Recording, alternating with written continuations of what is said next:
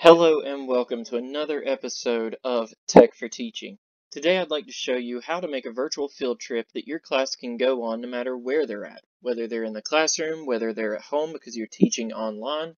But these field trips are very engaging, give a lot of good information to students, and are definitely a lot cheaper because they're free. The very first thing you need to do is you need to get to Google Earth. Now this is an in-browser app for teachers to use or anybody else at that fact. And you can either Google search Google Earth or you can type this URL right here. I will put that in the description below for you so that you can just click the link. So once you get to this, you want to click on Launch Earth.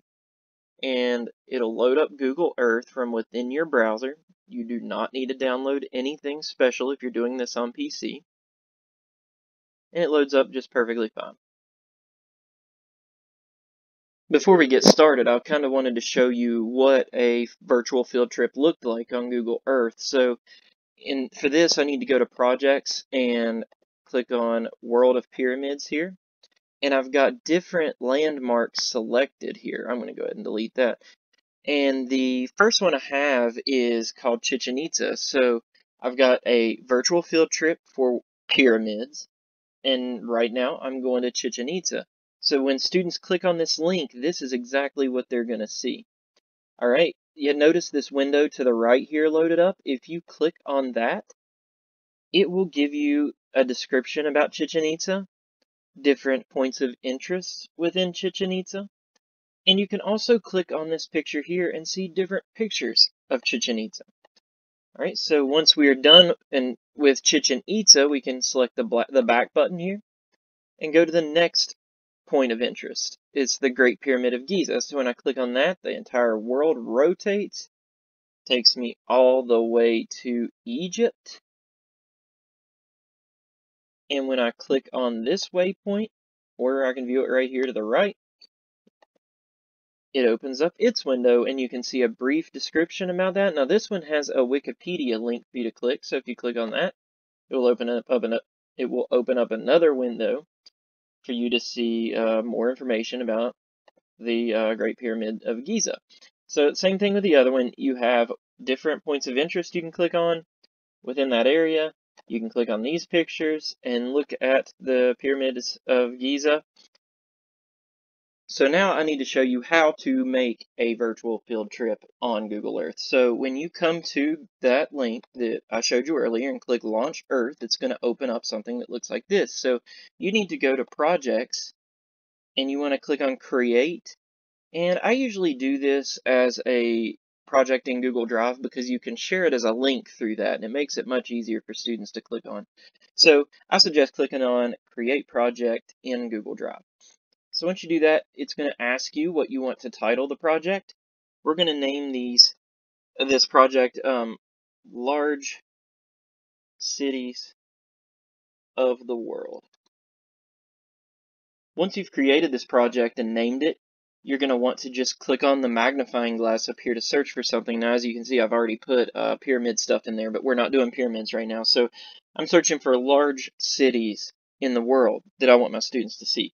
So I'm going to type in Tokyo, Japan, and when I click on this link, it's going to spin, whoops, I'm going to uh, go ahead and research that for you. Click on the link, it'll spin the Earth over to Japan and take me straight to Tokyo. So now you can click on its waypoint or it automatically loads it over here and you can click add to project. So what do you want to name your your point of interest. I'm just going to leave it Tokyo. So I'm going to click Save, and notice it puts that point of interest within the project of largest cities of the world. So let's uh, kind of zoom in and uh, just kind of take a gander here at Tokyo. It is most definitely a large city, so let's check out its information, make sure it's something we want students to be able to see. Looks good to me. Um, here's the caption. You can read that to double check that that is something you want them to read.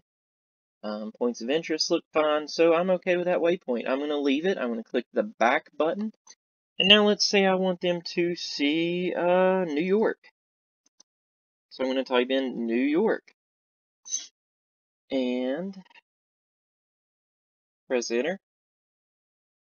And it is going to spin the entire Earth around to New York City. Alright, notice it's got it highlighted in red. I'm going to uh, zoom in, take a look at the city, make sure it's something that I want students to see. If I wanted to see wanted them to see Washington Square Park, I could click on that and add that, but I don't. I just want them to see general information about New York. So let's click on the little picture up here at the top, and I approve it. I want to add it to my project. I like the title there. I'm going to hit save, and it saved it in there. Um, let's try Los Angeles. We're going to do one more, and then we're going to move on, and I'm going to show you how to do some other things. So, Los Angeles.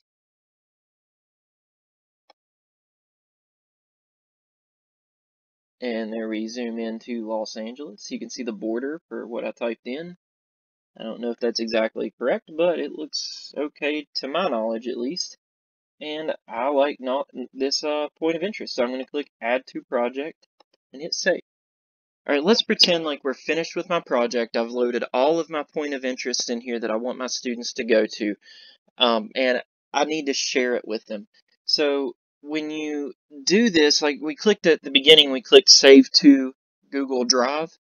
So I just went to my drive and it's loaded right there. Now you can right click this and move it to a folder if you wish, but for now I'm just going to right click it and I'm going to click share.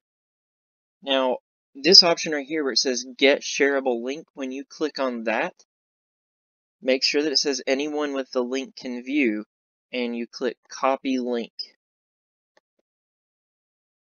Alright, so now, whatever type of uh, online software that you use to relay your assignments to students, you can make a new assignment and just post that link in the assignment. And when they click on that, it will open up your project and they can click on the different points of interest and go there and research those points of interest.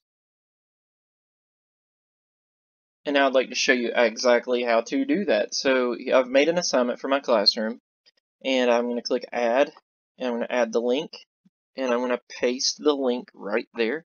Click add link. You can see here at the bottom we've got large cities of the world and then you go up here and click assign. So now once your students click on this assignment and click on that link, they will automatically be taken to Google Earth and your project will load up for them to click through the points of interest and take their virtual field trip. So I hope this video was very helpful for you and that you'll use it in your classroom to get your students out of the classroom. Now, this is useful for not only teachers that teach in a physical classroom, but maybe teachers who teach online. Um, I know my situation right now, I'm having to teach from home because of the coronavirus quarantine going on. So hopefully that ends soon, but I still don't think I would be able to take my students on a field trip to Tokyo, New York, and Los Angeles. So this is going to be helpful no matter what time of the year you're using it or situation. Um, but I really hope that you found it useful, and thank you for watching.